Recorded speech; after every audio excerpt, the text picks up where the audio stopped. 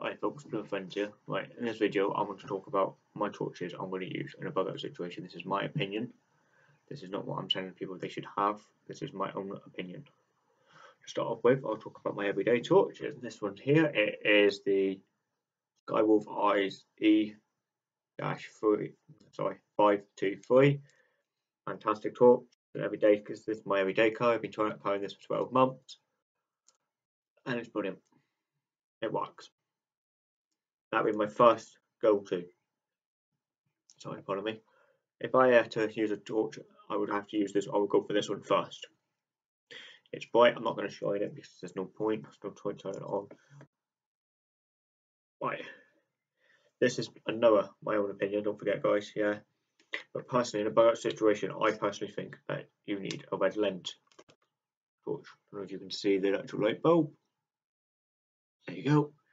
This is a red lens torch. I have put some glow in the dark tape on it. I will be thinking about, I am thinking about removing that glow in the dark tape because I honestly do not like it there anymore. So yeah, this is my red lens torch. This one here always stays on my bag, as you can see in the background there. With my, first, my with my new first aid kit pouch. I will go. I will be doing a video of that soon. So yeah, but let's go back to the torches. So in my opinion, basically, because red lens to me Oh, or everywhere, or oh, actually everybody should, everybody knows. Yeah, red lenses. If you've got a red torch on, you don't lose your night vision. But if you've got a white or yellow light, light on, you lose your night vision. So I have this on my hip oh, on my belt, and my rucksack. Fantastic. Like it's not light; it's reasonably heavy. It only takes one AA battery, as you can see, one AA battery, that's all it takes. Yeah. And I will be carrying maybe another spare packet or more, less. I haven't decided yet. But yeah, that's my what I call my thing. For long term, if it's a long term situation, yeah, I have a wind up torch. This one here, I don't, I like it, I don't mind it, but it's so noisy. That to me you're winding up your torch in the dark or winding up in the day and you're like that, to me, and you're trying to hide, it's going to give your position away. But it works again. It's a good torch. It's light.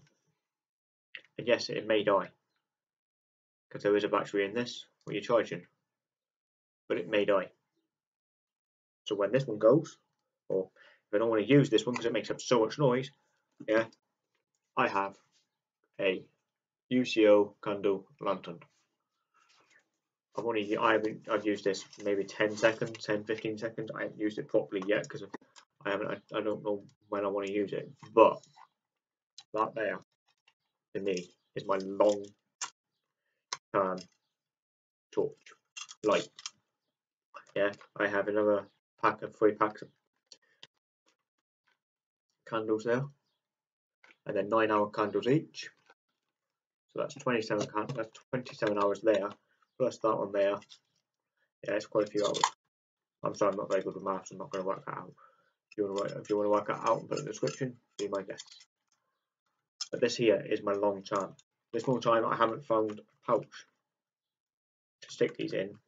What I like to stick them in so they don't break. So if anybody's got recommendations so I can put these in a nice pouch so I don't get them all smashed up, I'd be really would grateful. Right, okay, now that's my long term light, as you know. Yeah, I'm not gonna waste it. I'm not gonna be horrible like that. I'm not gonna be stupid. You don't need to waste things. So, come. Yeah, it's the same batteries. Don't use your torch. You use it sparingly. Yeah, you're reading a map, you use your red torch, you're reading a map, you read it for like that in 10 seconds, 10, 15 seconds, then you turn it off. That's it. You don't need to turn it on and go, oh, what's out there? Oh, it's there. Oh, it's there. No, you don't need to do that, guys. Yeah, I've got another torch here. This is the one I take when I go hiking, camping. Yeah, it's another um, wolf. This, even this one's a wolf. Wolf, um, sky wolf eyes torch. I don't know which one because I'm an idiot by putting the glow dark tape on it. So as I said, that will be coming off. But yeah, this is another one I may take. Haven't decided on that, but I may take it. It's small and it's light, and it only takes one AAA battery. So yeah. Right now we've gone through all the torches and all the lights. I will be taking on what I, I think be good in a survival situation. Now this is my cache, survival cache, cache. I haven't decided if I want to keep it in this tin. I haven't decided if I want to make it put it in a bigger tin, and I haven't definitely have not decided how many batteries or how many stuff I could put with it. I'm not putting one of these in because one of these you have to crank up. You would have to crank that, or at least I've got to crank that at least once a week to make sure that's still got power.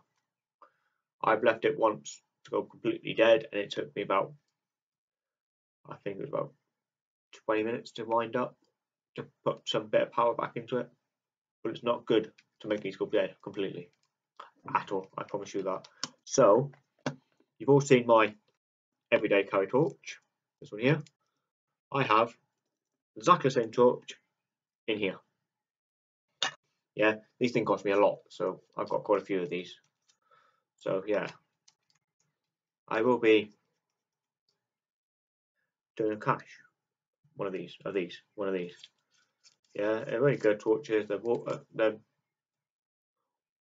water resistant. They're not waterproof. Sorry, guys, the sewers come up. This one looks sense. But they're really good. I like them. I think they're fantastic. And I keep and I'm going to put some batteries in this thing. So this is a question for you guys. How many batteries would you carry in your bag? And if you were doing a survival torch cache, how many batteries would you put in that cache?